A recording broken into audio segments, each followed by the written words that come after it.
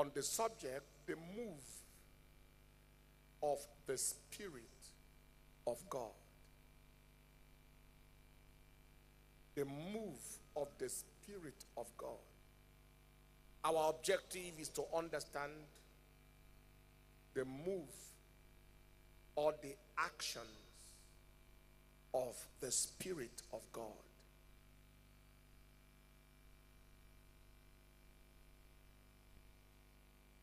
And our second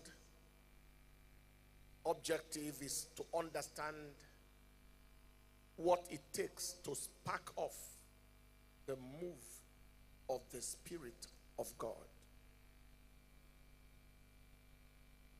Zechariah chapter 4, verse 6 and 7. Then he answered and spake unto me, saying, This is the word of the Lord unto Zerubbabel, saying, Not by might, nor by power, but by my spirit, saith the Lord of hosts. Who art thou, O great mountain? Before Zerubbabel, thou shalt become a plain, and it shall bring forth the headstone thereof with shoutings, crying, Grace, grace unto it. The Lord bless His word in Jesus' name.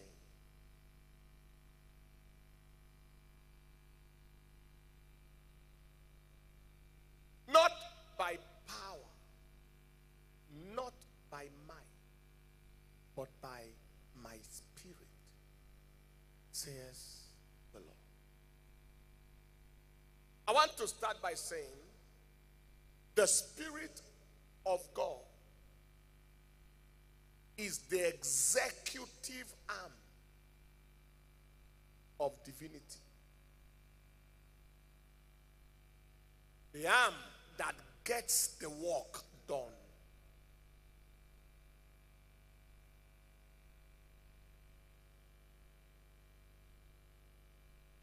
The Father decides. The Word, that is the Son, declares. And the Spirit delivers. Did you hear what I just said? Every time something needs to be done, the Father decides. He said, Let us make man in our image. The word declares, Let there be light. And the Spirit delivers what has been decided and declared.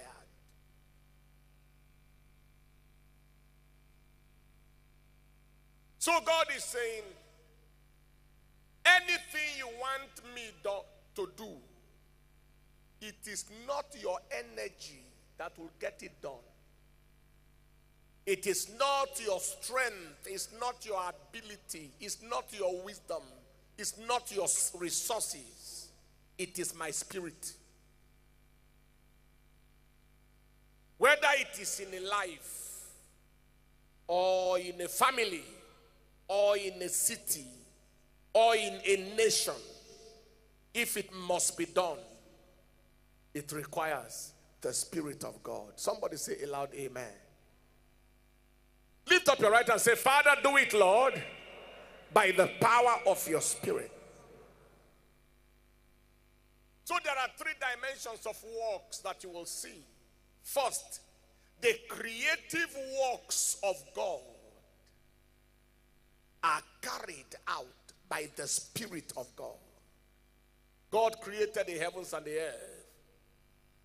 And the earth was without form and void, and the Spirit of God moved on the face of the waters. So, the creative works of God, where something needs to be created, the Spirit of God gets it done. Secondly, the resurrective work or or restorative, the resurrective or restorative works of God are carried out by the Spirit of God. Ezekiel chapter 37, verse 1 all, all the way to verse 10.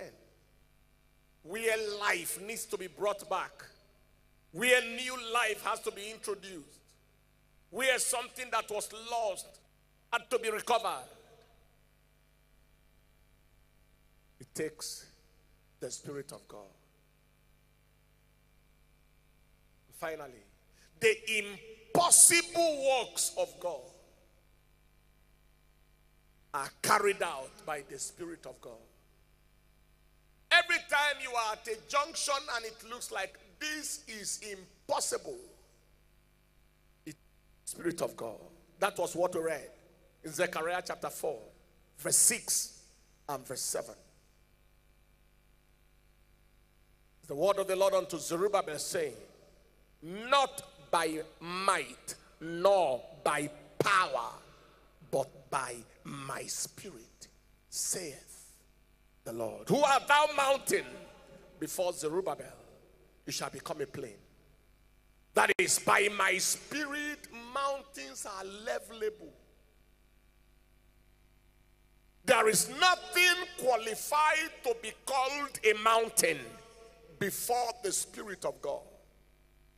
Whether in the front of a person, or in the front of a church, or in the front of a nation, there is nothing qualified to be called a mountain where the Spirit of God is.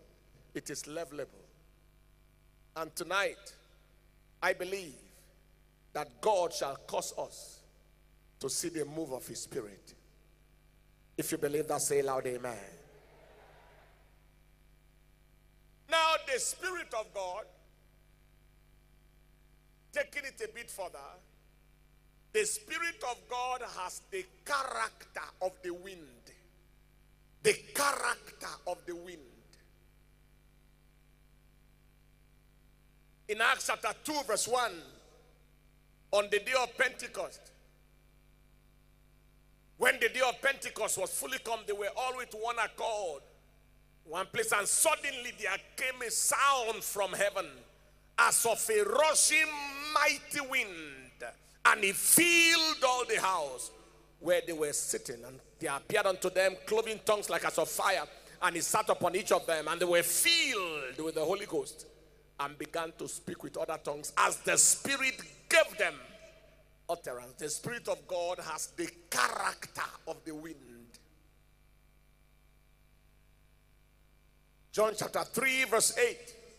He said, The wind bloweth where it listeth, and thou hearest the sound thereof, but canst not tell whence it cometh and whither it goeth. So is everyone that is born of the Spirit of God, the wind. So, if you want to understand the character of the works of God, of the Spirit of God, it's good to understand the character of the wind. Am I communicating at all? So, if God, if the Spirit of God is going to move on your life, is going to move on your family, is going to move on your ch- on the church, or move on the city, or move on the nation, what character does he possess? The character of the wind and what is the character. So as to understand the work. Number one, unpredictable. Unpredictable. The wind is unpredictable. And the works of the Spirit of God are also unpredictable. He said, The wind bloweth where it listed. You can tell where it is coming from.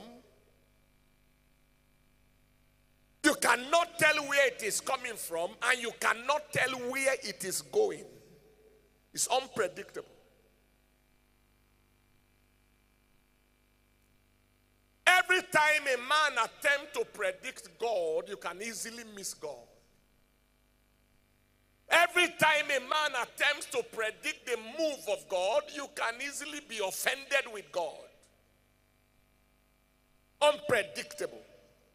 In Job chapter 9, verse 10, the Bible speaking said, talking about God which doeth great things past finding out. That is, God does great things that can't be predicted and wonders without number. Things that can't be predicted. And then in Romans chapter 11, verse 33, Romans 11 33, oh, the depth of the riches, both of the wisdom and knowledge of God. How unsearchable are his judgments and his ways past finding out. So the move of God upon a life, the move of God upon a family, upon a community, upon a city, upon a church, upon a nation can be quite unpredictable. His ways are past finding out. But the critical thing and the good thing is that he does what he wants to do the way he wants to get it done. Am I communicating here? Somebody shout the loudest, amen. Number one, unpredictable. Number two, unstoppable. The wind is unstoppable. So the works of God, the move of the Spirit of God, the action of God, the agenda of the Spirit of God is unstoppable. Nobody blocks the wind. So nobody can block the move of God. Nobody can block the agenda of God. Every attempt to block the wind is to make more ways. When you put a roadblock, you create more ways. You just create more ways. The wind is unstoppable, it's unblockable. In Isaiah chapter 43 and in verse 13, God speaking there, he said, Year before the day was, I am he, and there is none that can deliver out of my hand. I will walk, and who can hinder it? Who shall let it? Who can stop me? I am walking, and I am unstoppable. Somebody say the loudest, Amen.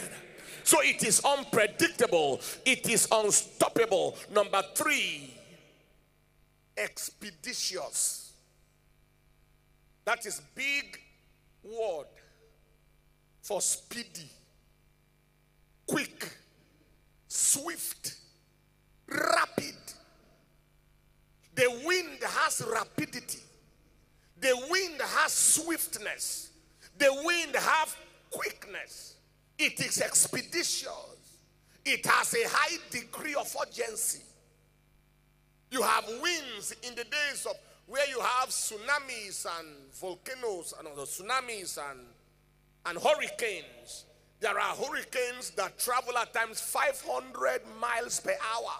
That is the speed of an aircraft that flies in the air and you see the wind blowing on the ground like this uprooting houses and uprooting trees and moving as if nothing was happening that is wind sp- speeding there was a hurricane some time ago that we saw the picture of how it went to an airport and turned aircrafts upside down and, and, and was just turning the aircraft, carried them from the ground and turned them like that. Some in the air, it confronted them and just changed their direction. That is wind with speed. Whenever God gets set to move, it is faster than the blink of an eye. Is God speaking to somebody here at all? It is quicker. That is that is quicker than the speed of the twister and the tornado. So when the spirit of God moves, he moves, he moves unstoppably. He moves unpredictably, unstoppably, and moves expeditiously. It's expeditious. Number three Number four, it's recognizable. How is the wind? What are the works of the wind? Unpredictable, unstoppable, expeditious, recognizable. Recognizable means, well, perceivable. He said, Thou hearest the sound thereof. You can hear it is audible, it's audible, it's audible. Thou hearest the sound thereof. But you don't know where it is coming from and you don't know where it's going, but you can hear the sound. It is recognizable, it is audible, it's perceivable. Anywhere God moves, there is something to see and something to hear. When John the Baptist was talking, Jesus sent the message in Luke chapter 7, verse 22. He said, Then Jesus answered, and said unto them, Go your way and tell John the things you have seen and heard, that the blind see, the lame walk, the lepers are cleansed, the dead hear, the dead are raised, to the poor the gospel is preached. And blessed is he whosoever shall not be offended in me. Tell him the things you saw and tell him the things you heard. So, in the move of the Spirit of God, there is something to see and something to hear. The move of the Spirit of God is evidential, it is both experiential and evidential. There is something, it is newsworthy. There is something to hear. Is God speaking to somebody here? It is newsworthy. There is something to hear. There is something to see. Somebody say the loudest, Amen. Finally, the fifth character of the wind that classifies the move of God is forcible. Forcible. The, the wind has force. That is why hurricanes, hurricanes uproot trees. Is forcible, is forceful, is powerful. That was why in Acts chapter 1, verse 8, it said, And you shall receive power after that the Holy Ghost is come upon you. And you shall be witnesses unto me both in Jerusalem and in Judea and in Samaria and unto the uttermost part of the earth. Somebody say aloud, Amen. Forcible, forcible. The move of God is not a weak God. God is a powerful God. God is a forceful God. God is, is, is, is, is a real God. And before I go further, I pause here to announce and to prophesy and to make declarations upon everyone seated here that is expecting the move of God in your life, in your family, in our city and especially in our nation, Nigeria, I announce the move of the Spirit, and God will do things that will be very unpredictable, unpredictable, unpredictable, unprecedented, unprecedented. Ay, ay, ay, ay, ay, ay, ay, ay.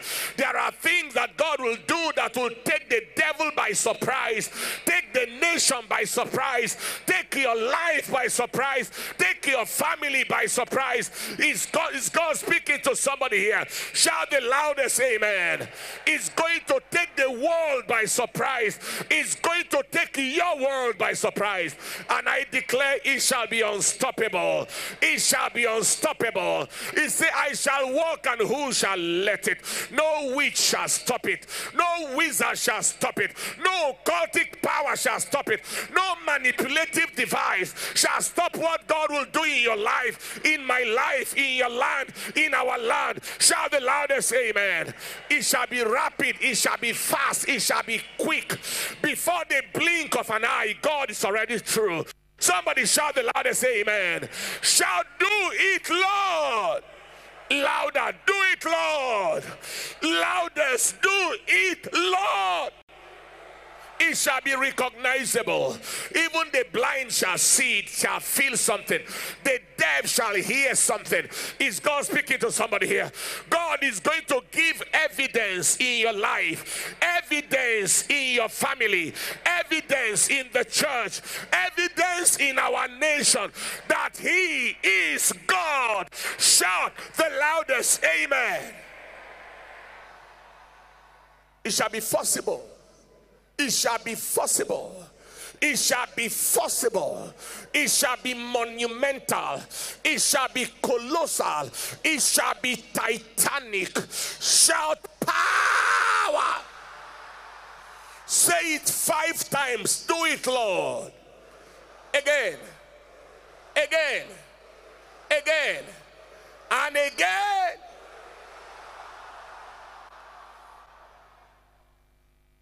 Take your seat in the presence of the Lord. That is God. You thought he was coming through one way and he came through another way. Magalaga yagadish. Ilefete kike ke bado varadahasha. Ilekeste frita de melafarani galayadashta. That is God. The same God that advertised the birth of his son using the stars to the wise men and the angels to the shepherd. To everyone, the language they understood. That is God. And He is still God. Shout the loudest Amen. What are the keys to the move of God? So let's get ready for the unpredictable, for unpredictability, unstoppability, expeditiousness, recognizability, possibility that God will, will, will manifest in our lives, in our land, in our families. And what are the keys to the move of the Spirit? Number one is first First, first, first. People who are thirsty for the Spirit see the, the, the outpour of the Spirit. Isaiah chapter 44 and in verse 3. Isaiah chapter 44 and in verse 3. For I will pour water upon him that is thirsty and floods upon the dry ground. I will pour my spirit upon thy seed and my blessing upon thy offspring. So, if there is the thirst of soul, there is the outpour of the spirit. We are going to be hungry and say, Father, I am thirsty, I am yearning, I am hungry for your move in my life, hungry for the move of your spirit in the church, hungry for the move of your spirit in our nation. First, number two, prayer. And they continue with one accord in Acts chapter 2, verse 1 to 5. And then the day of Pentecost came as they continued in prayer. And suddenly, there was the sound of a rushing mighty wind. Prayer, prayer, desperate prayer, desperate prayer, desperate prayer, desperate prayer. Father, we need your move, the move of your spirit. We are not, we are not, we are not, we are not struggling for anything right now. Spirit of God, just move move over our land, move life, move over my family. And number three, praise. First, prayer, praise. Ephesians chapter 5 and in verse 18. Ephesians chapter 5 and in verse 18. And be not drunk with wine that leads to excess, but be filled with the Spirit. And how is that? Speaking to yourselves in psalms and hymns and spiritual songs, singing and making melody in your heart to the Lord is doorway, is doorway to the outpour of the Spirit, to the fullness of the Spirit. It is doorway. Tonight, if you are possessing thirst, and if you are equipped with prayer, and if you are going to release praise, let us get set to see the move of God in our lives, the move of the Spirit in our families and in the church and in our nation like never before. Somebody say aloud, Amen. Anybody here tonight at all? How many of you are ready to see some unpredictable things? To see some unstoppable actions of God? To see some expeditious actions of God? to see some forcible actions of God. Stand up on your feet, some recognizable actions of God. Stand on your feet and shout the loudest, Amen.